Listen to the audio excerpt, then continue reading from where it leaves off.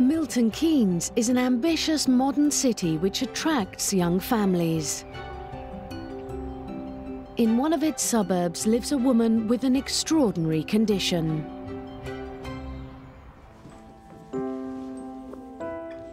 I've broken roughly around 200 bones. I can break a bone very easily, can be by coughing, sneezing, reaching for something, maybe on a table. Marie has osteogenesis imperfecta, known as OI or brittle bone disease. She has type 3, the most severe form of the condition. Can't stand because my femurs are twisted the wrong way, so my knees point the wrong way. And it's all because of the amount of fractures that I've had. It affects my back and my breathing. So there's more to the eye than just breaking bones. She's married to Dan and is now leading a life she never thought possible. Marie's uh, fantastic. She doesn't let her condition stop her doing anything. She decides she wants to do something, finds a way to do it, and does it. She was determined to have a child. Her son Mark was born 16 months ago. I used to dream about being a mum all the time. I used to have visions of this little boy like running up to me and running in this field of grass and flowers and and I, I used to think it's just a dream, like it's never going to happen. Oh, Marky. Having a child seemed an impossible goal for Marie. Marie's first job as a school receptionist gave her a new sense of optimism. Danny's research scientist, so part of his job involves doing talks to students. We just got talking, and then I think we added each other on what was back then Yahoo Messenger. And it blossomed from there. We were friends, we got closer. And everything changed. I went from being like quite upset in myself to being happy. Life was an adventure for Marie as she travelled with her husband to science conferences all over the world. But Dan had a lot to learn about the challenges of having a girlfriend like Marie. Yeah, so it's not agony, but it's just, it's not right. It just kind of gives me a bit of pain sometimes. it's the actual pain is like there, so I don't even know if it is my knee. Oh yeah, so it's there's your kneecap. There's, so that's just above your knee then. Yeah. The early days were fairly tricky, shall we say. Um, I learned some very basics about Marie's condition, but of course you're always worried. How fragile is she? Are you going to hug her and she'll break her ribs or something? There's all these concerns that go through your mind. She knows her own limits. She knows what she can and can't do. And she really did put my mind at rest. We got engaged in Paris and got married. It was just right, which is um, one of the dreams that I'd always had as a child.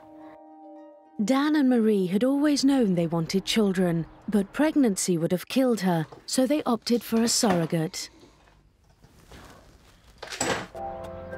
Surrogate had a home birth, um, and he was put on my lap within seconds of being born. So I, I've always been able to hold him. Just that feeling of, you know, finally becoming a mum was just overwhelming.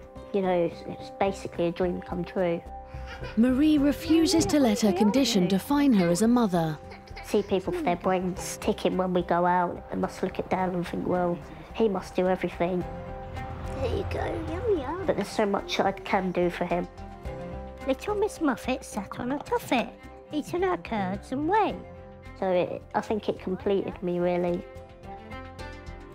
having Mark. But it's given me even more of a purpose when I have a down day to keep going. Lins in Brazil, a town of comfortable homes, attractive churches and beautiful parks. For one resident, it's a treat to be able to enjoy the local sights.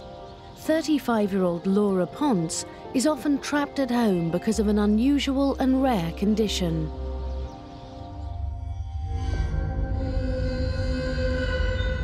As soon as her eyes start to turn pink, she reaches for her special eye drops. But often, she's too late. Strange white plaques rise up in her eyes and she blinks to expel the crystal. Do olho começa a inchar, aí você eu eu posso abrir que sai a membrana. Immediately, another one starts to form.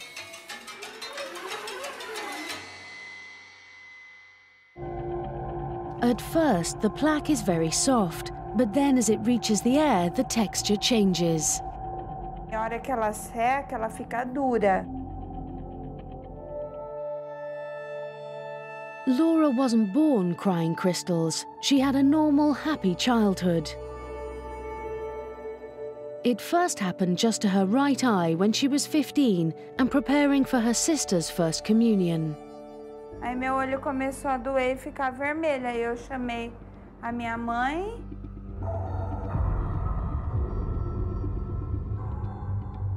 E nós fomos verificar o que tinha dentro. Tinha uma membrana. E tiramos e eu fiquei assustada.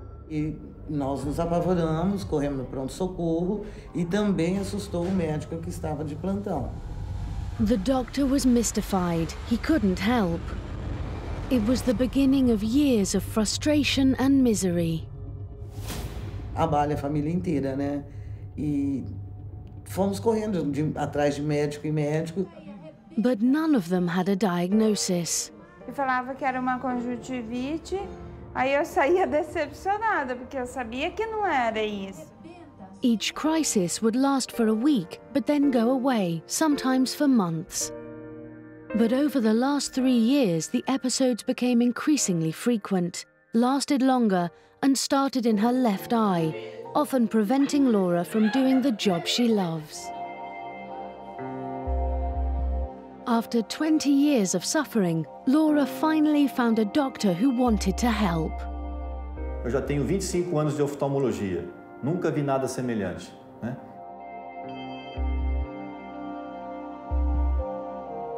Caso raríssimo. Nós não encontramos nenhum no mundo ainda. O Dr. Raul foi muito bom. Assim, ele foi bem acolhedor, sabe? Laura gave him a jar of her solidified tears. E eu perguntei para ela: quanto tempo levou para formar tudo isso? E ela falou: hoje de manhã. Para formar com essa rapidez uma quantidade tão grande de placas, só teria uma explicação. Essa explicação tem que ser química. Dr. Consalves analysed the plaques and explained to Laura and her mother a possible cause of her unique condition.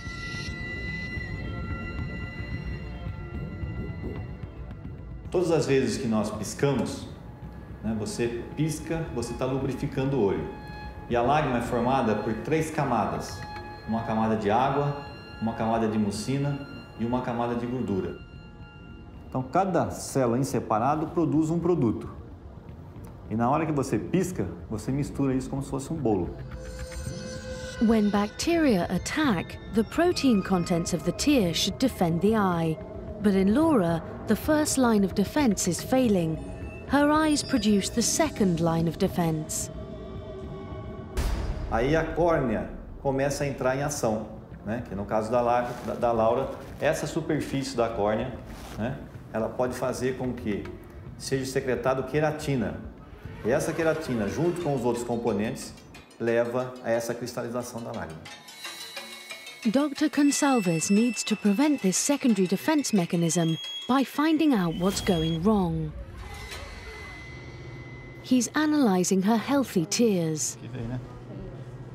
And to help her manage her condition, he's given her some new eye drops. Ela conseguiu fazer uma bactéria resistente, então nós tivemos que neutralizar a infecção por essa bactéria resistente e utilizamos um colírio fabricado à base de nitrato de prata. Aí eu tô passando colírio, lavando bem, fazendo é, uma higiene bem no, no olho. Her new regime means Laura has fewer eye infections, so she's been able to return to the job she loves.